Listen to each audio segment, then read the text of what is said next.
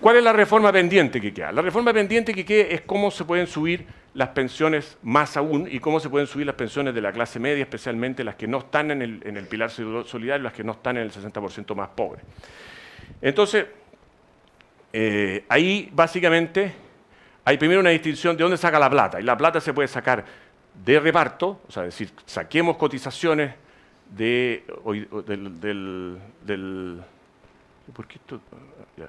Eh, y eh, saquemos cotizaciones de, eh, de las personas, de los trabajadores actuales, y con eso subimos las pensiones. Y en eso, de hecho, la, oposición, la, presidenta Bachelet en su gobierno dijo, subamos la cotización con una cotización adicional que va a pagar el, empleador y que al final lo paga entre el empleado, el empleador y los, y los consumidores, porque eso es un aumento de costo para las empresas que va a significar parte, los que puedan subir precios van a subir precios lo que también va a significar que los aumentos de sueldo futuros sean menores porque la empresa tiene que acomodar este mayor costo de, cotización y también eh, va a ganar menos la empresa. Entonces, bueno, pero este 5% de cotización adicional, lo que la presidenta Bachelet quería que fuera todo el Estado y el Estado con eso subía las pensiones. ¿no es cierto? Ahora ha resucitado esta idea y hay la discusión y la oposición ha pedido al gobierno que entre el 2, dos puntos, dos, de los cinco puntos que, o cuatro puntos que subiría la cotización, dos vaya a a, reparto.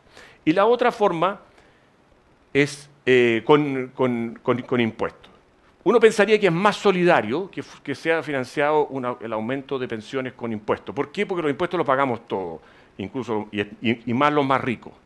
En cambio, el problema de las cotizaciones es que las cotizaciones no los pagamos todos. Hay una cantidad de gente que no cotiza porque, porque tiene propiedades, porque es rentista, porque es empresario o porque es independiente. Y por otra parte, eh, las cotizaciones están topadas. Eh, se cotiza hasta un sueldo de 2 millones y medio de pesos y, la persona que gana 3, 4, 5, 6 millones de pesos no cotiza por más. Entonces, en el fondo, eh, cuando uno habla de decir hagamos solidaridad repartiendo cotizaciones, es dentro de lo que cotizan. Y por consiguiente lo que hace básicamente es quitarle cotizaciones a la, clase media. en cambio, los impuestos lo pagan todo y parece mucho, ser mucho más solidario. Esto se explica mejor aquí lo que está el proyecto en discusión, y eso es lo que falta de la reforma de, pensiones, es subir la cotización adicional, o sea, establecer una cotización adicional al 10% que hoy día de 4 o 5%, y que entre 3 y 2 vaya a la cuenta individual de ahorro de cada uno de nosotros, o, y la diferencia vaya al, Estado. Y lo que va a la cuenta individual va a ir a, nuestra pensión. Y lo que va al Estado se, se distribuiría en lo siguiente. Por un lado, hay en el proyecto un seguro de dependencia, que consiste en un seguro de que eh, es para un aumento de la pensión para aquellos eh, eh, ancianos que no tienen movilidad, ¿no es cierto? Que no pueden moverse, no pueden valerse por sí mismos. Y eso parece bastante razonable que tengan una pensión, un, suple, digamos, una pensión adicional.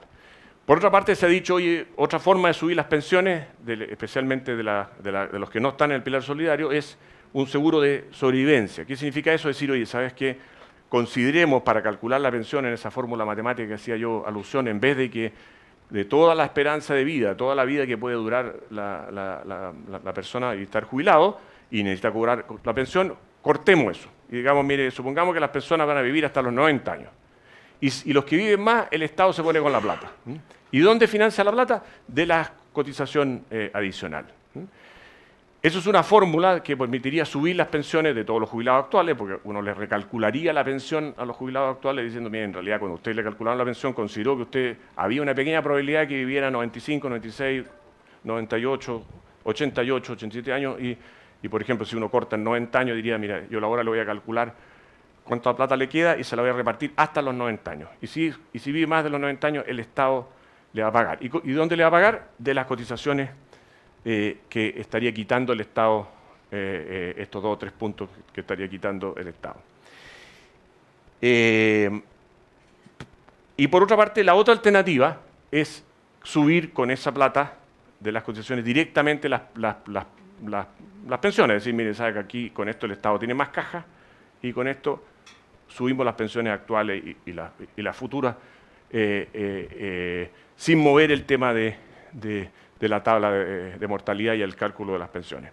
Esto rinde más, ¿ah? esto, esto, significa un aumento de pensiones mayor a, las personas, porque esto tiene, eh, requiere eh, dejar una reserva de plata, porque en realidad nadie sabe cuánto vamos a vivir.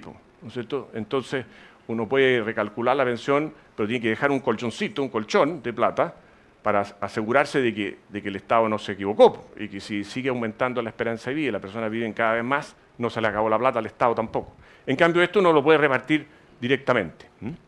Ahora, y esto es lo que está entrampado hoy día en la discusión. La discusión hoy día en el Parlamento y en, los políticos está en decir, oye, ¿cuánto de este 5% va a subir las pensiones actuales, especialmente de la clase media? ¿Y cómo se distribuye eso? ¿Se distribuye con seguro de sobrevivencia? Eh, se, distribuye con un aumento directo de las pensiones y hay otras fórmulas más. ¿Qué es lo que nos gusta?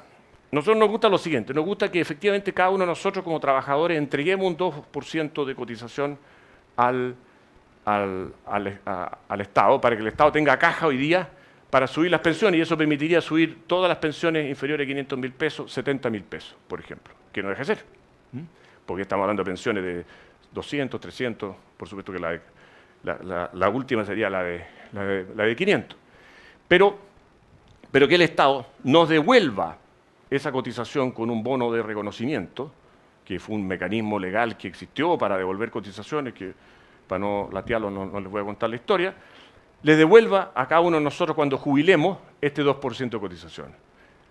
¿Y por qué esto es importante? Porque la cotización es nuestra. Nosotros nos partimos el lomo trabajando. Como nos partimos el lomo trabajando, recibimos un sueldo y cotizamos al 10%. Pero también con eso con nuestro trabajo, el empleador cotiza ese, ese, 5% adicional, que viene de que nosotros estamos trabajando. Si no estuviéramos trabajando, el, empleador no cotizaría, ¿no es cierto? Entonces, esto es nuestro. Y felices que en una situación de excepción, en una situación donde hay muchos chilenos en una situación dramática, le pasemos a plata al Estado, solidaricemos con esa gente, el Estado tenga la caja para subir las pensiones, pero que el Estado nos devuelva la plata, no se quede con eso. ¿Mm? ¿Y por qué es importante esto? Es porque si no, el Estado le quita básicamente cotizaciones a la clase media, que esa le cotiza, porque los ricos no cotizan, o no cotizan más que en proporciones muy menores de su ingreso. ¿Mm? Entonces, esto, si no, el, puro reparto del, 2% sería quitarle cotizaciones a la clase media para subir pensiones más bajas. Y entonces cuando todos los de clase media hoy día, que están trabajando, jubilen, van a haber acumulado en su cuenta individual el 13% de su sueldo, 15 menos un 2%, eh, que le entregaron al Estado, y no el 15%. Entonces van a tener pensiones más bajas. Entonces, yo creo que es más solidario que el Estado nos devuelva las, cotizaciones y el Estado nos paga, nosotros le financiemos hoy día una necesidad urgente de subir las pensiones pero que el Estado nos devuelva esa plata. ¿Y con qué nos va a devolver esa plata en definitiva? ¿Con qué va a pagar el bono reconocimiento? Con impuestos, digamos. Y los impuestos los pagamos todos, los más ricos especialmente.